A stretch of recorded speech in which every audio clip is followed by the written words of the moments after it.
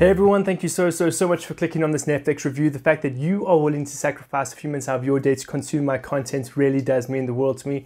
Today we're going to be talking about The Night Agents, which is a series that really took me by surprise. I thoroughly, thoroughly enjoyed it. And if all you're going to take away from this review is that this show is good, then that's good enough for me because The Night Agents really, really surprised me and did really well in my opinion. It's actually captured one of the the hardest things I think that Netflix has been struggling with lately, and that's to actually write a likable protagonist and build a, a show around characters we actually care about. So straight off from the beginning, the show was enjoyable, it was captivating, and it was engaging. Ultimately, we follow our protagonist Peter, who is a low level FBI agent, as he is trying to solve a massive conspiracy which has the entire political landscape of America at stake. And so it's up to him to ultimately save America, its citizens, and bring balance back to the political landscape. But straight off the bat, as I said, Peter is an incredibly likable character.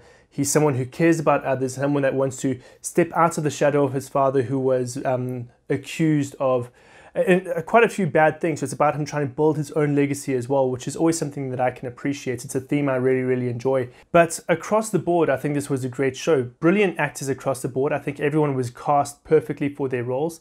Um, they were definitely helped by the script. I think the script was incredibly, incredibly strong. And all of that ties together to really push forward this incredibly compelling narrative, this incredibly exciting story.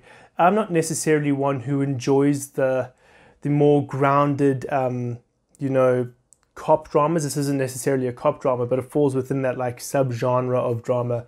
Um, and the thriller suspenses and the thriller elements that are definitely within the show really captivating as well. So there was a lot of pros to enjoy about this show, from well-written characters to intense drama, suspenseful drama, but also some very, very well choreographed scenes. There's a scene in the very first episode where Peter is chasing down a criminal. He gets hit by a car. It is one of the most brutal car hidden runs I've seen in a very long time in a movie and a show.